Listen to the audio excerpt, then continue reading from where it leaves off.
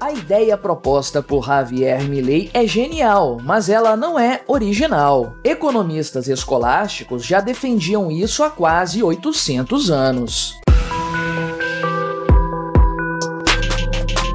Este é o Visão Libertária, sua fonte de informações descentralizadas e distribuídas. Ajude a propagar as ideias da liberdade, deixe o seu like e compartilhe este vídeo com seus amigos. Javier Milei roubou a cena mais uma vez, e isso já está virando notícia cotidiana por aqui. O mais recente caso aconteceu em um discurso proferido em Madrid, na sede do governo regional, ocasião em que o presidente libertário recebeu das mãos da governadora Isabel Dias Ayuso uma condecoração. Sim, Milley parece estar fazendo sucesso com as senhoras conservadoras europeias. Talvez seja por conta de seu cabelo charmoso. Voltando ao discurso em questão, o presidente argentino advertiu seus ouvintes espanhóis a respeito dos riscos do socialismo. Ao mesmo tempo em que afirmou categoricamente que a única causa da inflação é a emissão de dinheiro. Isso porque, segundo o libertário, a impressão de dinheiro pelo governo expande a disponibilidade de moeda na economia, aumentando a demanda por produtos e, consequentemente, elevando os preços. Porém, Milley foi ainda mais longe e afirmou seu desejo de transformar o ato de emitir nova moeda em crime contra a humanidade na Argentina citando o presidente argentino palavra por palavra. Vamos enviar uma lei na qual emitir dinheiro seja um crime e que esse crime seja contra a humanidade. E se emitir dinheiro, vão ser presos o presidente da nação, o ministro da Economia, o presidente do Banco Central,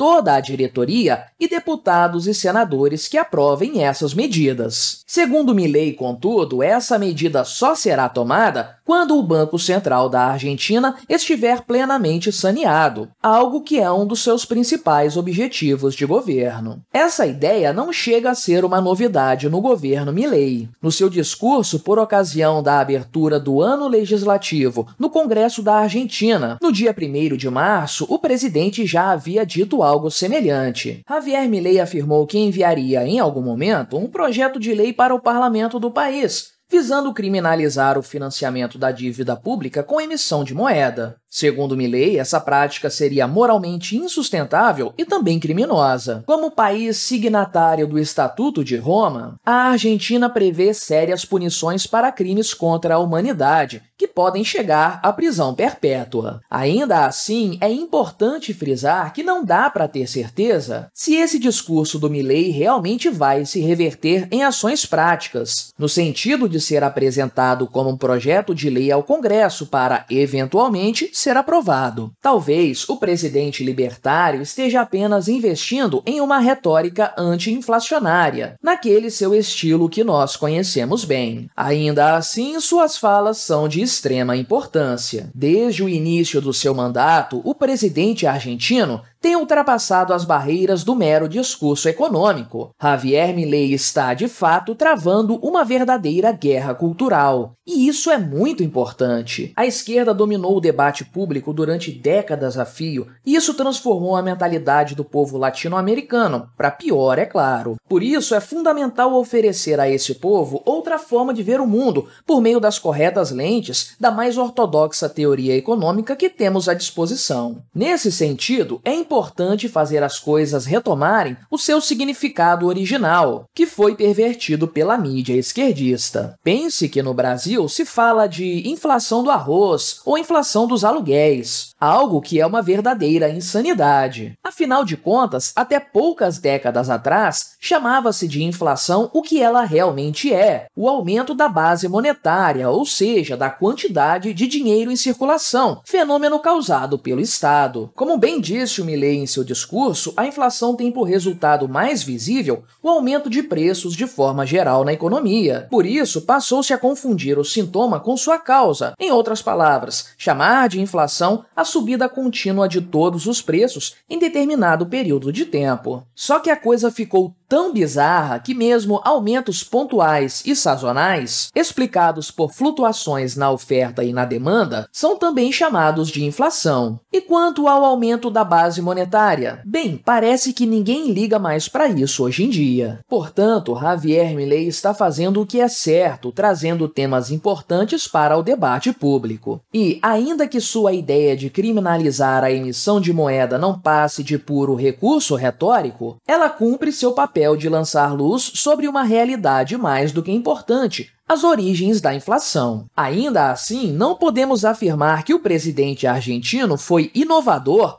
ao propor o tratamento da inflação como crime. Na verdade, Milley está atrasado uns 800 anos, porque essas ideias surgiram lá atrás com os padres escolásticos das idades média e moderna. Pense, por exemplo, em Nicolau de Oresme. Esse frade dominicano escreveu em 1355 seu Pequeno Tratado da Primeira Invenção das Moedas, no qual afirma que a alteração da moeda contém nela tanta fraude e falsidade que que não compete ao príncipe, entenda-se ao governante, fazê-la. Isso, por sua vez, causaria inevitável prejuízo à comunidade, ou seja, a todo o país. Nesse sentido, Nicolau de Oresme evoca o pensamento de Aristóteles, afirmando que um príncipe que agisse dessa forma se tornaria inevitavelmente um tirano, uma atitude não digna de um rei. Para o filósofo grego, seria lícito ao povo resistir como necessário a um tirano. Nicolau de Oresme ainda afirma que se um príncipe pudesse depreciar a moeda, ele poderia fazer tudo, inclusive roubar os bens, a comida e a roupa de seus súditos, porque não haveria diferença prática entre uma coisa e outra. Aquele que obtém para si ganhos por meio da falsificação da moeda, ainda segundo o autor, estaria opondo-se a Deus e à natureza. Veja como as atitudes condenadas por esse frade católico no século XIV são tratadas com naturalidade nos dias atuais. Saltando no tempo, tempo. No século XVI, o escolástico jesuíta Juan de Mariana escreveu sua obra Tratado sobre a Alteração da Moeda, o clássico De Monete Mutatione, em seu título original. Por sinal, nós já citamos esse importante escolástico aqui no canal no vídeo. O ouro das Américas arruinou a Europa. Link na descrição. Na citada obra, Juan de Mariana defende o ponto de que nunca há desvalorização da moeda que não se reflita em prejuízo para a sociedade. O autor escolástico afirma que não está entre os benefícios do rei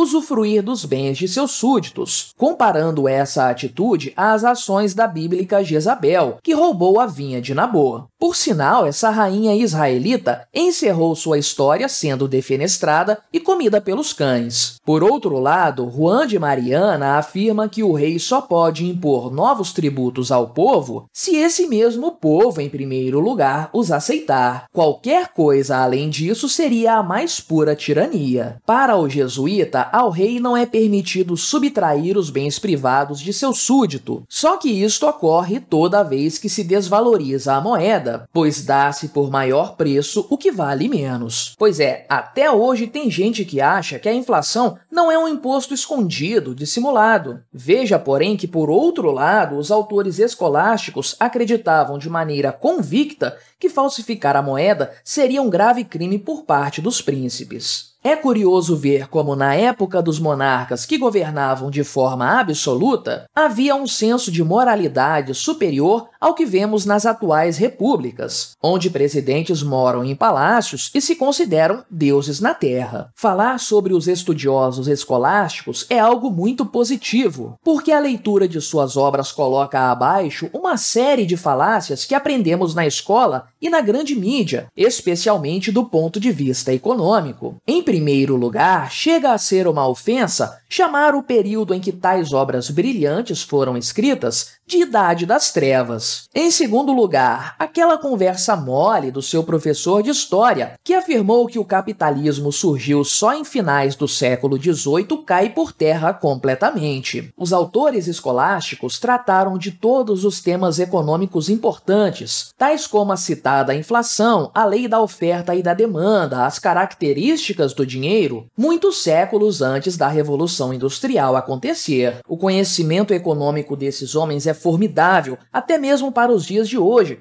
quando as ideias econômicas mais malucas afloram por toda parte. Não é à toa, portanto, que grande parte das ideias fundamentais da escola austríaca de economia foram adaptadas dos pensamentos da Escola de Salamanca, centro do pensamento escolástico espanhol. Mais formidável do que isso, porém, talvez seja o fato de vermos um presidente latino-americano fazendo eco a conhecimentos econômicos tão importantes, mas tristemente esquecidos. Javier Milei deu mais um passo no sentido de trazer luz para o debate econômico e político, tratando a inflação, ou seja, a impressão de dinheiro, como ela realmente é, uma fraude, uma falsificação que prejudica toda a população. Tratar a emissão de moeda como um crime deveria ser o básico do básico. E ainda que o discurso de Milley fique apenas na retórica, o seu recado está dado. Seu governo assumiu e tem mantido o compromisso de acabar com a inflação, simplesmente desligando as impressoras de dinheiro. E é justamente isso que vai fazer a Argentina se tornar, mais uma vez, um país rico, porque seu povo não será mais assaltado pelos seus vice-governantes por meio da inflação. Enfim, como adora dizer Javier Milei,